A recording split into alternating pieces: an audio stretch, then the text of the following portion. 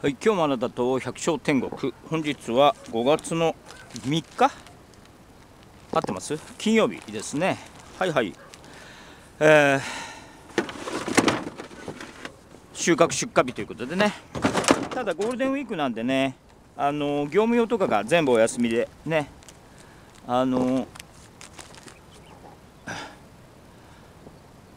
我が農園はね、えー、こうやって直接消費者のところに送り届けるということをやってるわけですけど。割とね、えー、三重に来てからはね業務用の割合をね増やして、えー、おりますね。あの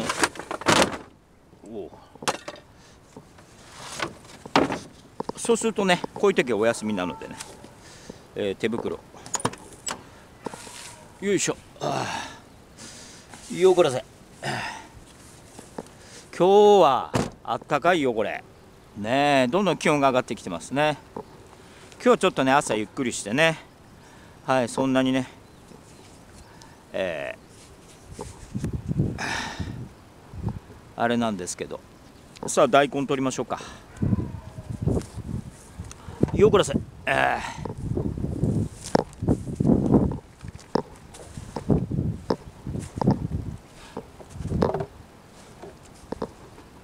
ゴールデンウィーク皆さん田植えとか終わりましたか？ね。この辺は遠立っちゃいましたね。これね2列目まではもう遠立ちで。今ここら辺ねちょっと遠立ってきてますけどね。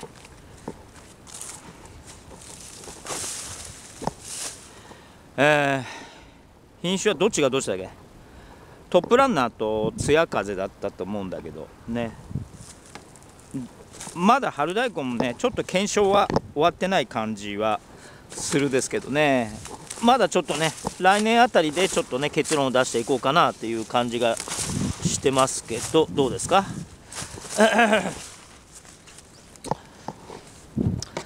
ねもう30年近くね大使というのをね、えー、作りましたんでね。なんかいまだにやっぱりなんかあのちょっとちっちゃいな。なんか愛着がねやっぱ23年では無理ね。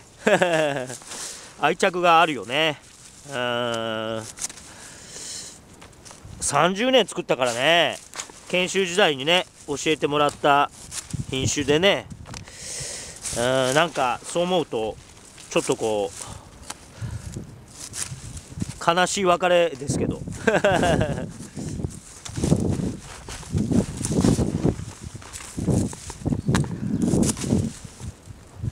たまにこうやってねあのー、じゃがいももそうだけどね昔すごくね重宝してた品種がね北紫っていうのがあったの。ね皆さん知ってますかね？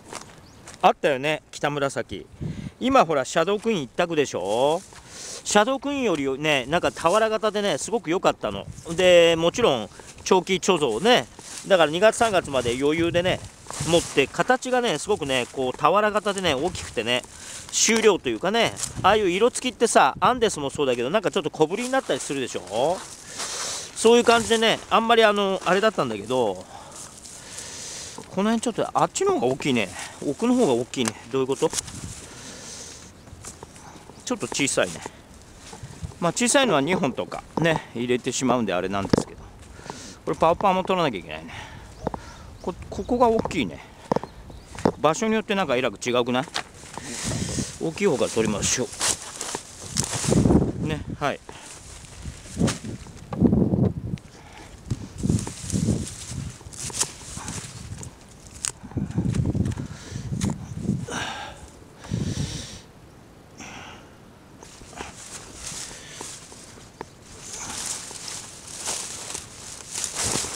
はい、これ大きいね。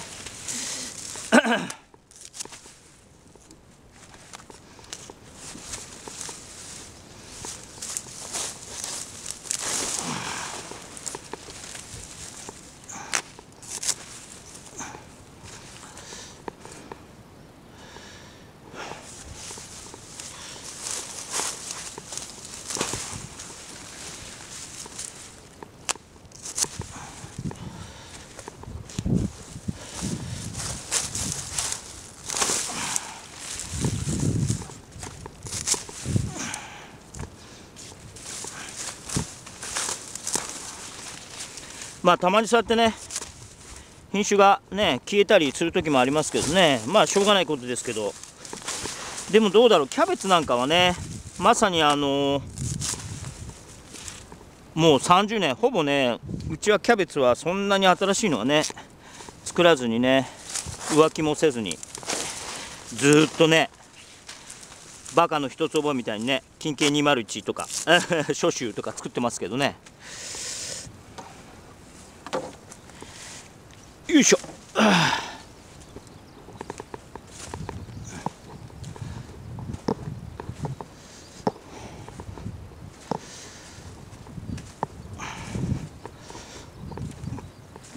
ここもね大根こうやって連作してますけどやっぱりあんまりねあんまりね、まあ、割とね窒素分は少ないので綺麗にこうやってね大根仕上がるんですけど、まあ、ちょっとあんまりね土に力はないのでね。ここはもともと田んぼだったところですからね。逆に言うとここで大根以外は作れないかな。大根か豆か。ね。水はけが悪いからさつまいもとかもねちょっと多分ダメだろうしって考えると。ね3年目今年3年目でね畑の回し方がねだいぶあれですけどやっぱりこう使える畑使えない畑が、ね、はっきりしてるんでね。よいしょ。ここ借りたいんですけど貸してくれないんですよ。わかりますここのあの木があるところまでが今俺が借りてるねところでね。あのずっとあっちのところからちょうどこれで入れて2ターンちょっとぐらいですか？2ターン5世はないかな？2ターン4世ぐらい。2ターンまあ5世ぐらいか。2ターン5世。3ターンないとこですね1箇所ね。ここがこちら側借りるとここが5世ぐらいだからちょうど3ターンぐらいになるんですけどね。でこっち空いてるここの左はもう見てわかるでしょ？ここはもうあの丸っぽ田んぼなので、ね、もうこの時点で見て水はけが悪いわけですよね。だからここは申し訳ないけど借りようとは思わないわけですよ。ここ借りたらもう里芋一択ですよね。でも多分あんまり土も肥えてないのでねだから昔だったらねそんな関東の時代だったら隣空いてたらもう即借りるわけですよね。ひたすらあのそうやってどんどんどんどん増やしてってねあんまりこう土の良し悪しとかね水はけがどうなんて考えたこともなかったですけどこっちに来るとねこうやってもう見るからに水はけが悪いもんね。うん。里芋以外できないんじゃないかな。特に奥の方はね常に水が溜まっているような状態ですから。や昔田んぼだとやっぱそうなっちゃうね。うん。だからここは多分行ったら貸してくれるとは思うけどね。で借りたいところを貸してくれないっていうね。空いてるのにねこうやって見れば分かるでしょ？ね小さいあの幸運機かなんかでこうやって管理されてるのね。うん。で家庭菜園はちょっとあっちの方でやってんだけどここは丸っぽ空いてるわけじゃない？こうやってね。こうつ俺とすればこれをこうやってつなげるとね畝を例えばこうやるとだいぶね長い3 4 0メーターぐらいの畝になるので俺としては一番こう使いやすいわけですよね。うん。あっちもね長さ50メートルであれなので50メートルとこっちで40メートルでちょうど私とすればね使いやすい畑になるんですよ。ね。なのでね一昨年だったかな貸して貸していただけませんか？っつってねあのすぐ近くに住んでるので行ってみたんですけどね。難色を示されましたね。それ以来非常にねうん。何でしょう。うん。悲しいねあのー、こういう言い方をするとねもちろん別に貸そうが貸さまいが私有地ですから構わないんですけどねそれはその地主さんの決めることだけど地主さんのね思ってるうんどうしようかなっていうのと私たち新規就農者のね生活がかかってる切実さってものすごい落差があるんですよ。ね俺たちがこうやってね畑を借りるということにどれだけ苦労してねどういう思いで農業やってるかっていうことが分かれば貸さないなんてあってはならないんですよね。でもその温度差ってやっぱりねかなり違うんですよ。ね。かなり大きいね。まあみたいなそういうことですけどね。よいしょ。はい。昨日ねモアでがっつり吹っ飛ばしてね。あよいしょ。今日は暑いや。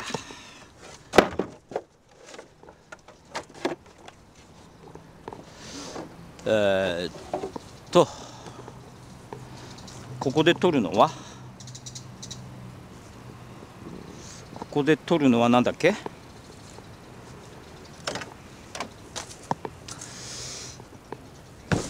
いしょ。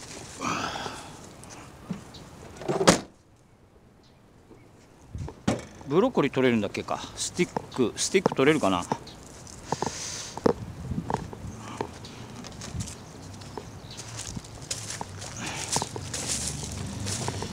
うんちょっと厳しいかな。ちょっとスティック厳しいかな。取れないかな。ねちょっと取れない感じですか？なんかねやっぱりこっち来るとこの茎ブロッコリーの出来が良くないよね春がね。うん。なんだろうね。やっぱりこうなんかバシッとこう上がってこないんだよね。はい。残念ですが。ということではいこのね白菜のとう立ちなねもう今これメインです。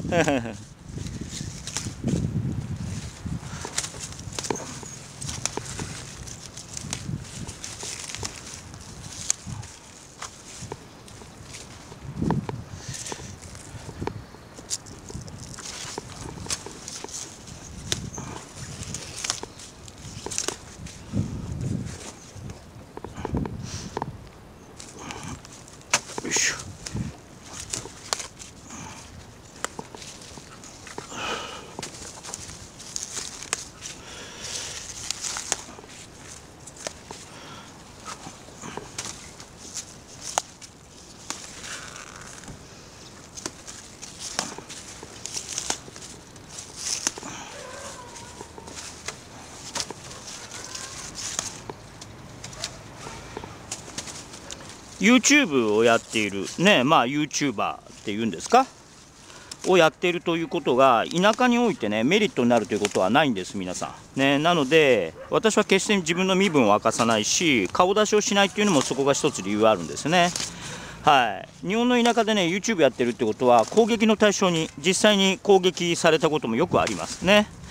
つまり田舎の人にとってはねあのー、ね今やテレビよりも広告収入が多いっていうね。多分日本で最大のメディアになってるんですけど、えー、そんなことは田舎の人にとっては何の関係もない。むしろね YouTube というわけのわからないねものでやってるということを白い目で見る人って田舎ではいっぱいいてね、はい、実際に私それで今までねたくさん攻撃されたことがありますよね。はい。なのでね公にしてはならないんです。ね。それがこういいことにいい方向に行くということはね。まあそういうこともありますけどね。攻撃の対象になりますのでむしろだからそういうあの言わない方がいいわけですね。だから私は言ってないわけですよね。はい。決して言いません。ね。それがどう転ぶかわからないってことを知ってるから表明したくないわけですよね。はい。だからそういう意味ではねあの日本の田舎というのは本当に恐ろしいところなので決してそういうこう攻撃の糸口を与えてはいけないんですね。はい、大事なポイントですすごくね。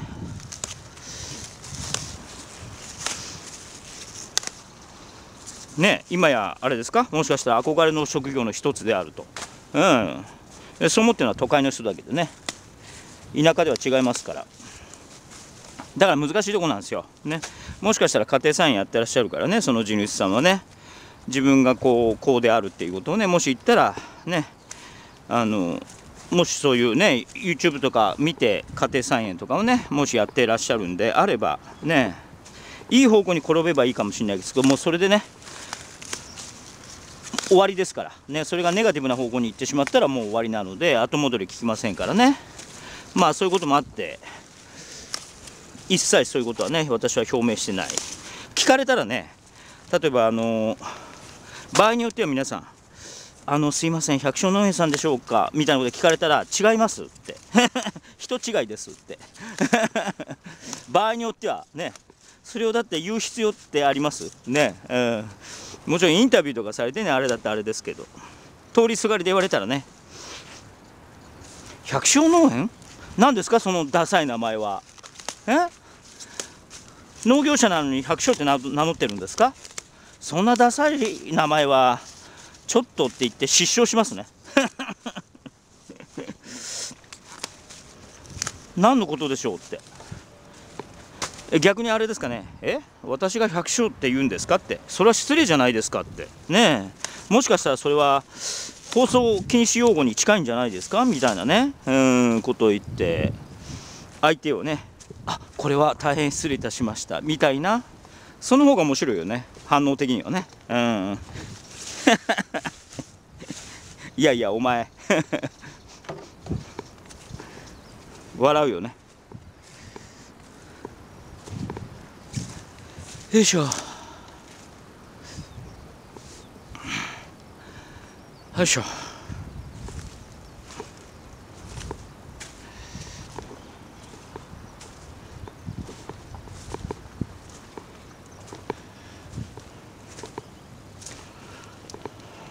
喉乾いたな。今日は暑いや。よいしょ。ちょっとお茶飲ましてください。あっちあっちあっちあっち。大体この辺にこうねこのいつもこうこれを持ってうろうろしているこの中をたぐれば何か出てくるんですよ。はいはいありましたね。大体こうペットボトルの1本ぐらいはね今日はウーロン茶でした。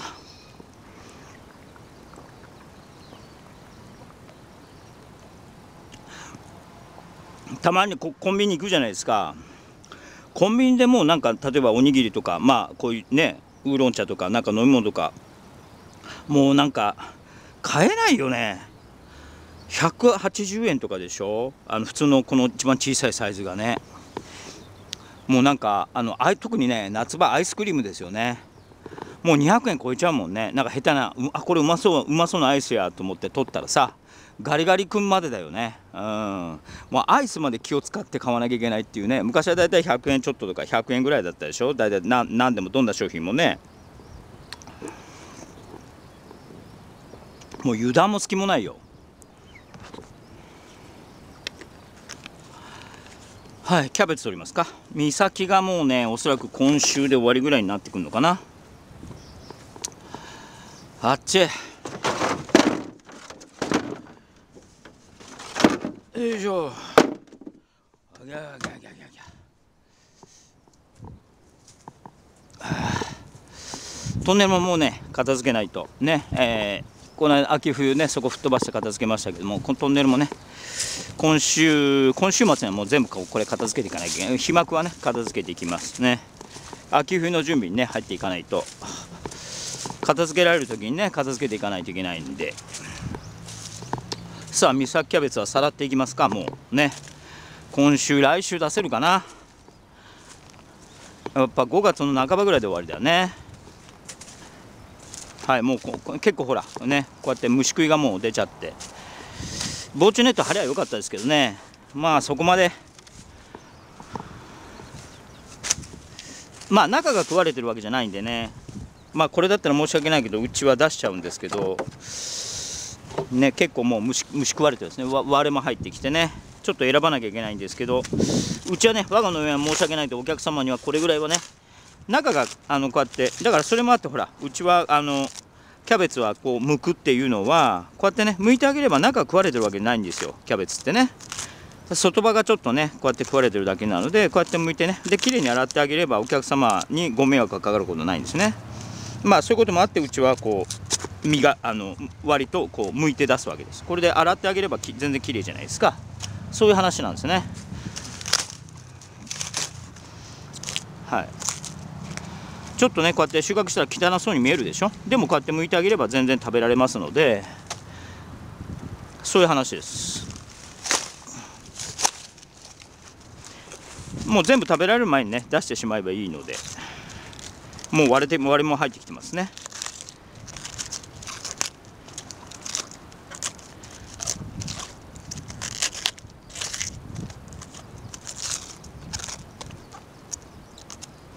もうこの辺ぐらいかね今週来週でもう多分終わりですね。そうそうキャベツが長いな。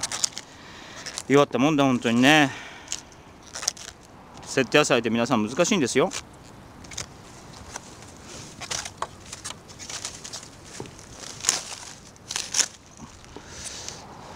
あキャベツそっちにはありますけどね。5月末まで引っ張れば多分なんか6月になったらなんかねきゅうりとかズッキーニが出てくるので多分つながると思うんですけど。まあ私もねちょっと来年からはねちょっと作付けをねガラッと変えていこうかと思ってますね。あのきゅうりをハウスで作ったりしてねちょっとこううまくね路地にまあ今まではこうやってね路地にこだわってやってきましたけど。ねもちろん路地にはこだわってやいやこれからもやるんですけどちょっとね設定野菜とした時にねあの三重県だとあったかいからねちょっと難しいっていうようなね部分もいっぱいありますのでその辺をうまくねこうカバーすべくね補填していくことができればなというふうにね思っております。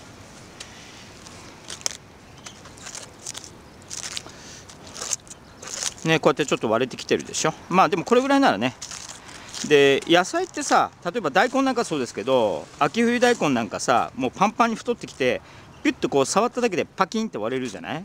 割れるっていうことはこれもそうですけど完熟ってことだからね。僕は決してそのあの大根なんかだから途中で真ん中でひびが入ったりね割れたりってありますけどそれはねお客さんにこうやってねそれはこう完熟である証拠だということでねなるべくねご理解いただいてまだうちとそんなに付き合いのね長いお客様じゃないとね皆さんね割れた大根が送ってくんのかっつってねびっくりされるんですけどそれは完熟の証ですよっつってね、えー、だから食べてもらえれば美味しいでしょっていう話でね。まあ業務用とかだとね見栄え悪いんでちょっとあれですけどそんなにねあの問題ではないと。僕はそのように考えているわけですね。ここまで割れちゃうとねもう難しいですよね。わかります？皆さん。ねなぜ割れるかって分かります？ここ真ん中からねこう塔が立って花を咲かせて実をつけるということなわけですよね。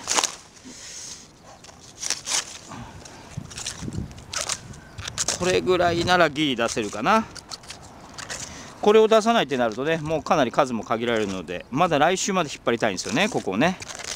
そうすると来週が5月の10日前後でしょ。そうすると5月の半ばから最後やって2週間引っ張れば5月の終わり。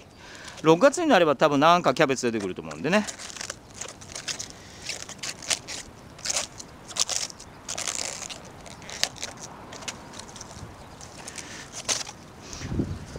今年はねちょっと春先が調子よくなかったんでね。まあいろいろねあの手の手のこととかいろいろあったんでね。まあまあしょうがないんですけど。割れちっちゃい。ちょっとねやっぱ23ヶ月調子よくないとこうやってね 3, 3ヶ月先ぐらいにこうやってこう作付けというかあれなんかちょっと野菜少なきゃねえかっていうね。すぐにこうやって結果が出てきますんでね。はい。それをサボったらサボった分だけこうやって畑というのはね正直にこう結果が出てくるのっていうね非常に恐ろしい、えー、仕事でございまして。ね。まあどんな仕事でもそうですよね。うん、で本人は分かってるわけですああの時23ヶ月前はちょっとなんかね自分はちょっと飲んだくれてたなとかさ。僕はお酒は飲みませんがねそういうふうに俺の場合別に飲んだ飲んだくれてたわけじゃないですけどね。一生懸命やってるわけですけどなかなかね難しいわね。うん。調子いい時もありゃ悪い時もある。ね。でもまあこうやってねあのリカバリーできますので頑張れば頑張ってね。まあ私はこういう形で30年やってますのでね。あれなんか野菜がちょっとね少ないなとかねちょっと調子悪いなとかありますけどでも多分ねお客様にはわからないと思います。ね。ね12品目。ね必ずそうやって、えー、数をキープしてねお客様にわからないようにねお届けしてますので自分の中ではねちょっと調子悪いなっていうかもちろんありますけどそれをねお客様にご迷惑かけることはなくねそうじゃないとねえー、十何品目って言ってね6品しか入ってないわって。6品しか入ってなくて4000円なの？って言ってね。それはお客さんやめやめちゃいますんでそれではね。うん。そんな甘ったるい商売してちゃいけません。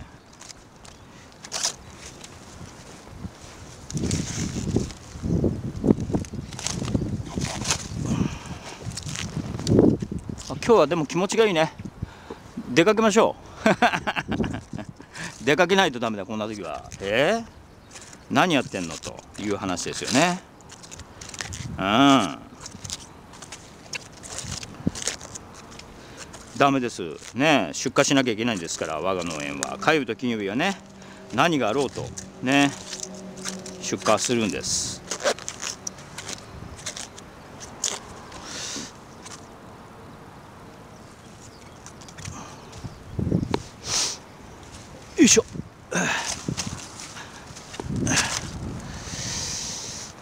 だいぶ割れてきてますね。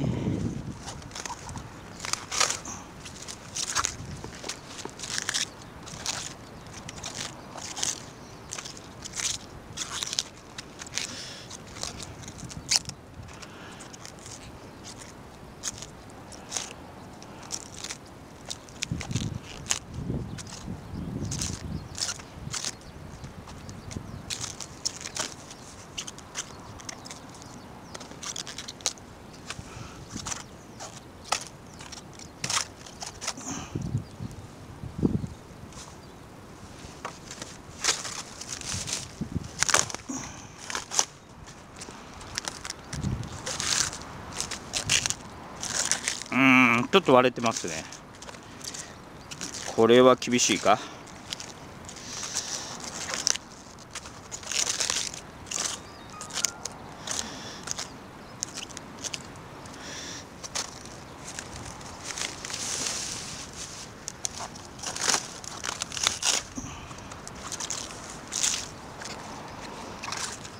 もうだいぶなくなってきましたね。来週火曜日出してさらって来週火曜日金曜日まで持たないかな。えー、羽坂駅本番でございます。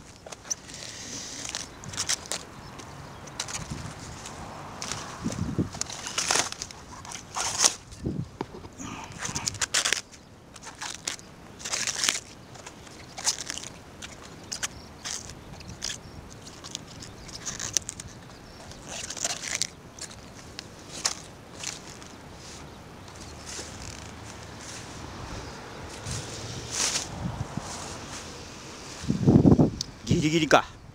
さらってさらって。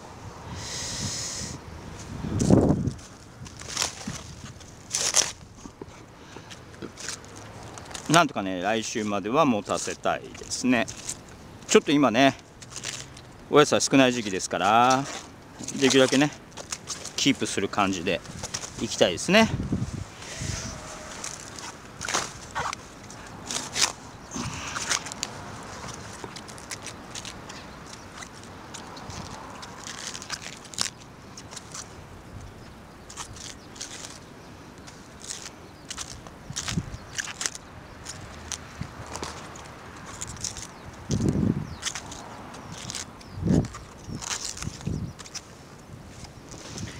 よいしょ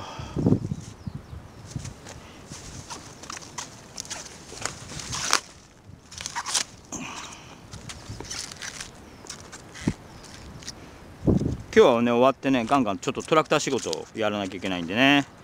忙しいですよ。ね。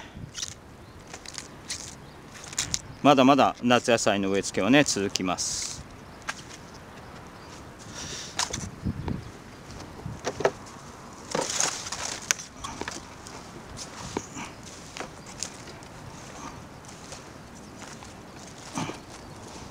よいしょ。撮影はできてるんでしょうか。はい。ということで。三沢キャベツ。